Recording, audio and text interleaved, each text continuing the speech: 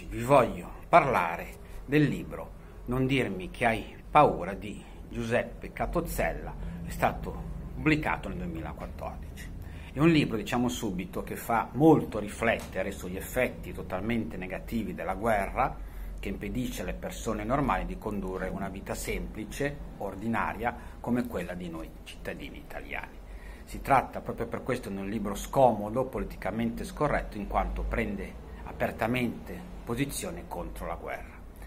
Il romanzo è il lungo racconto di eh, Samia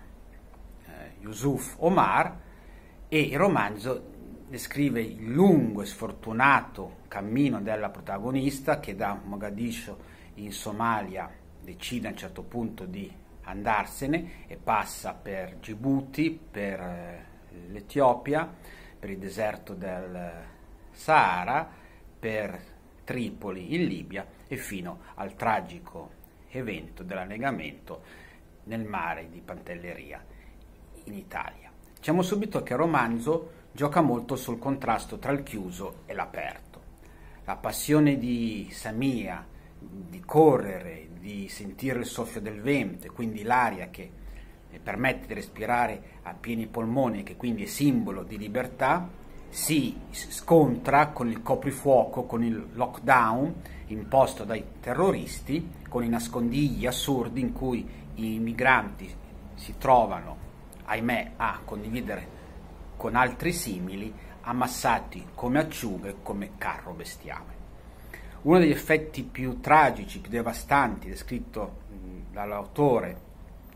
degli effetti della guerra sta nella rottura del rapporto di amicizia nato nell'infanzia tra Samia e Ali, che da amico preferito di Samia,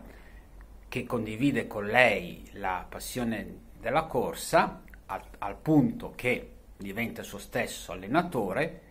lo stesso Ali si trasforma in terrorista e che si trova proprio perché eh, decide di arruolarsi nelle file dei soldati di Al-Qaeda e trova ad uccidere il padre della stessa Samia. Tutto questo avviene, e l'autore lo spiega molto bene, perché Ali ha ceduto al ricatto di diventare soldato tra le file di Al-Qaeda proprio per non poter più vivere in povertà. In questo senso riesce a condurre un, una vita normale. Inoltre si può dire che leggendo il libro si avverte sin dall'inizio che a Mogadiscio purtroppo prevale, domina un clima, un clima di morte, un clima pesante, come quando la stessa Samia racconta che la guerra può togliere delle cose, ad esempio a me ha tolto il mare. Più avanti Samia afferma, quando parla della sua amicizia con eh, Ali e dice che prima dello scoppio della guerra il cortile era il centro della vita di tutte le famiglie, una sorta di agora di piazza, ma che con la guerra purtroppo questo centro di vita, di, di raccolta, di socializzazione viene purtroppo meno. Eppure Samia non si arrende mai, non si rassegna mai anche quando è costretta ad attraversare il deserto del Sahara in condizioni disumane, in lei prevale la voglia di vivere, di credere ai propri sogni senza mai sottomettersi, a differenza dell'amico Ali. Nelle parole di Samia, pertanto, si sente un profumo di libertà, di pulito, di voglia di andare avanti comunque. E a questo proposito mi è rimasto impresso nella mente il momento in cui Samia arriva finalmente